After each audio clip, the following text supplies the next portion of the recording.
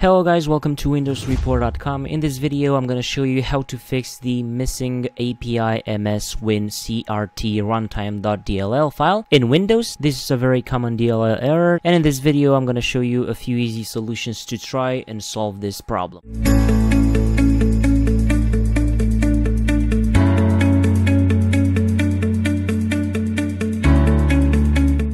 Firstly, we're gonna run the SFC scanner by clicking on the search box and then type in here CMD, then right click on command prompt and run as administrator. User account control will appear, just click on yes, and then in control panel, you're gonna have to type in SFC space slash scan now.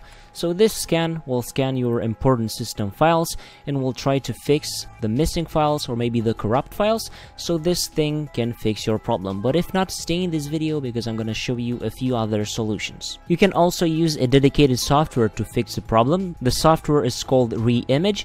This program, you're gonna have the download link for it in the description down below. Just download it and install it from there and then open the program once you install it and it will analyze your operating system and will tell you if you have any issues and hopefully will fix your DLL problem. This is a very recommended software for DLL errors, so I think it's a very good idea to go in the description down below and download this program. Another good solution for this problem would be to download the missing DLL file from a website like dllfiles.com.